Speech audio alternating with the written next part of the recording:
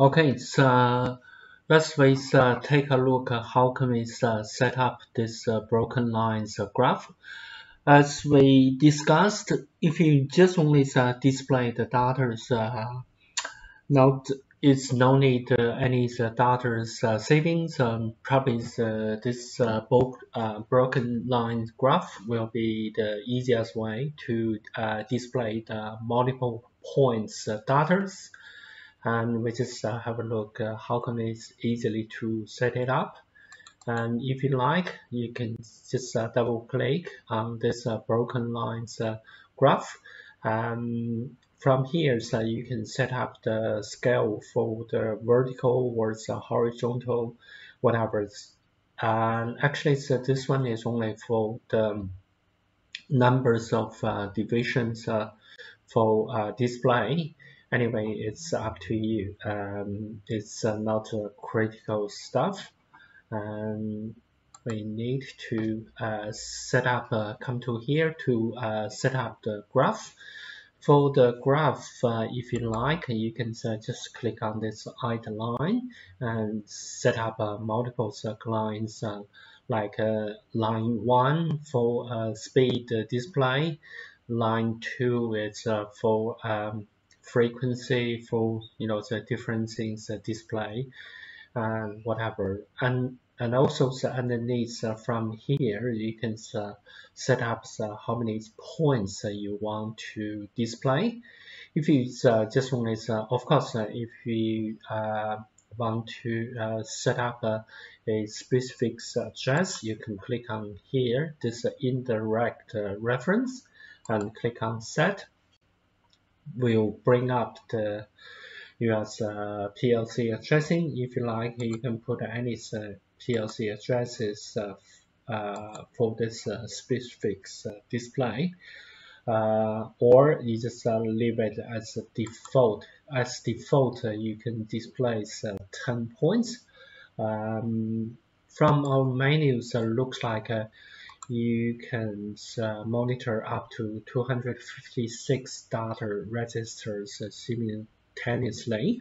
So um, that is, uh, you know, it's a pretty much big one. And we also uh, can uh, modify the, like uh, I already predefined two lines. And we can just highlight on that and click on this set line and get into the settings uh, uh, window. And then from here you can see if you like you can set up a as we say we can uh, set up a start address uh, which means uh, you know so from this address uh, for the coming up 10 words we can display in line 1 for the different points. For setting up this starting address you is uh, click on set and then go to yes uh, either like uh, different memory uh, data's memory or CL memory is uh, up to you. You can uh, use any uh, PLC addressing put it here. Um, however uh, if you do want to put um, variables uh, and scope here, it's also doable as well. Uh, you can take uh, this box, indirect reference, and then uh, you can use uh, PLC memory, uh, like a single words or double words to set up the highest limit, maximum value, and also for the minimum value as well. For this example, we just uh, put the, the minimum value as 0, maximum as uh, 513. And for the line colors, it's all up to you. Uh, if you like, uh, you can uh, set up uh, a different color, whatever. Even for the markers, um, we have a different shape you can choose. Um, for the line triggers, uh, you can uh, also put a addressing as well. So that is uh, pretty much about uh, the setting. For uh, this uh, uh, CX designers also has its simulations functions. we can use a simulation function to see how it works because you know so you can see there is a table to uh, set up uh, 10 continuous words so we can see what's happening as we say, we can uh, use the simulation uh, to test the result. And then we just uh, click on this offline simulation, save our uh, examples program. Click on start.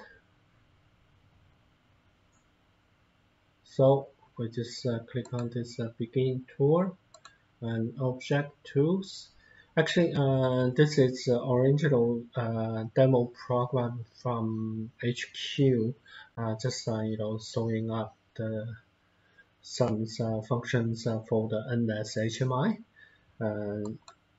to be honest, this program is a bit old. we can see from here, you can see we have a test tool. We can set up some addressing for the different address word. And we can set up uh, for the start. Is this word? We just uh, put a value in. And then you can say for the line 2 we already got the, the value. And you can see what's the next one. See next one is going up. And for this one we just see what's happening. We just put a smaller value. See it's going down and we put a higher value again.